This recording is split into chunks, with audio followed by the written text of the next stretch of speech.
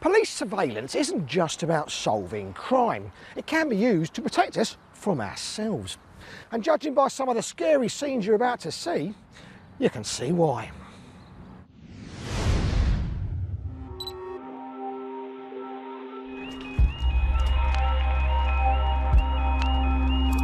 West Barnes, London, and the British Transport Police are laying a trap. Specially designed, this van is rigged with nine separate cameras. At the moment, all are trained on this busy level crossing, watching and waiting. Why? Well, here's why.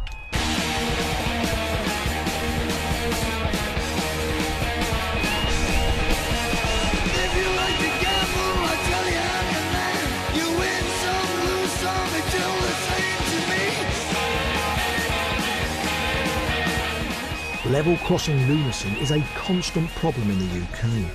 There are about 7,000 crossings in the country, and some people would rather risk their lives than wait. Like this smartly dressed chap coming up, who obviously feels those flashing red lights and barriers don't apply to him.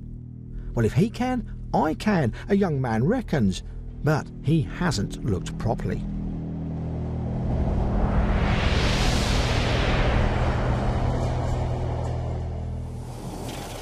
The is literally millimetres from death, so close that train connects with trainer and actually wrenches it off his foot. That man is 20 year old Craig Grant.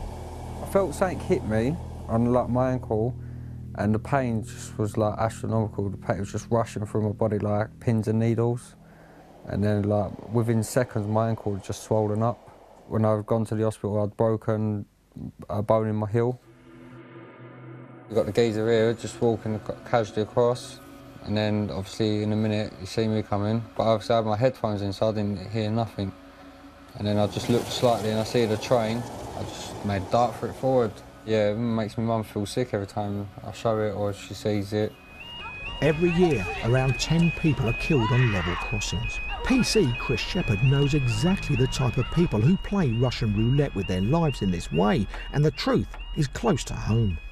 It's sort of Mr. Average, Mrs. Average, your general law abiding, decent person that would normally never ever interact with the police before is the sort of person actually who commits the offences at level crossings. We've found that it's quite often females aged 45 plus can be one of our worst offending groups. About 92% of them live within three or four miles of the level crossing. So actually they've sort of got this inherent sort of belief that they know how the level crossing operates. It's safe the way they do it. It isn't. When train connects with car at speed, the consequences are devastating. In 2004, in Berkshire, a train hit a car on a level crossing. The resulting impact killed not only the car driver, but the train driver and five passengers. So, although most of us get frustrated by the lights at times, cheating them like this is an offence. And having seen the carnage caused, Chris and the British Transport Police want to get tough on the level crossing leapers for their own sake. even let's say that person jumps the lights and doesn't get killed by some small miracle, they're going to have to live with the fact they've potentially derailed a train, they've ruined people on the train's lives, and so forth. That's why Chris, a former electrical engineer, helped Network Rail with the design of this high tech multi camera van. And that's why he and his fellow officers are waiting just down from this level crossing. The best way to stop people is to catch them red handed.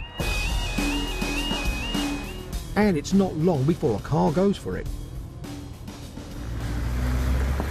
What do you think I pulled you over for? Red lights.